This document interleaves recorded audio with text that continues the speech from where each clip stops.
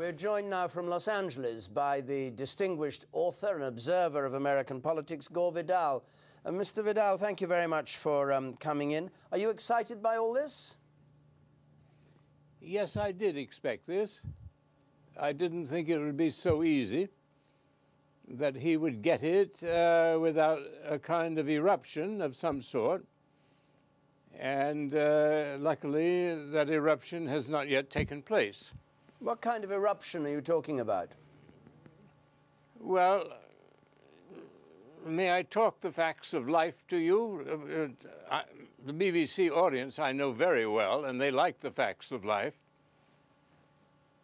The fact of life is that the Republican, you think of the Republican Party as a party, like, like, like uh, the British Conservative Party. Well, it isn't.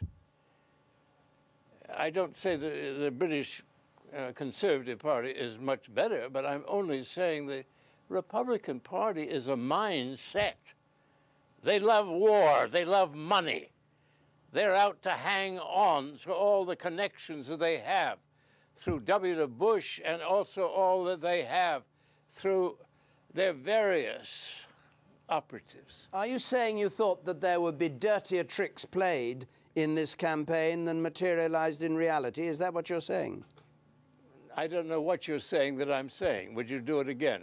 Yes, I'm saying you said that you expected something worse to happen. Are you saying you expected the Republicans, in order to remain in power, to uh, pull tricks during this campaign, which in the end didn't materialize?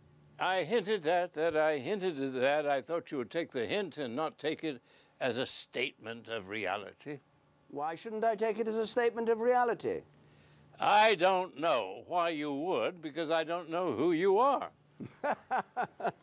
well, I, I, I, know who you are, Mr. Vidal, and uh, you were. Well, a... you're one up on me. you were you were a, you were a great supporter of uh, the Kennedys and that that era. What's your reaction to this election in terms of the race of the president? Do you think it's going to have a huge impact on this country? If you let me talk, I am thrilled.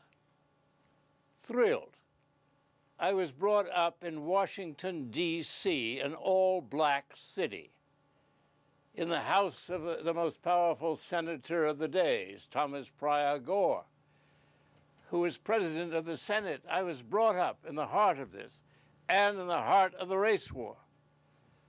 And my grandfather was as good as anybody could be on this, who came from Mississippi, which I'm preparing myself eh, is not always that good, but it was pretty good. I know the territory.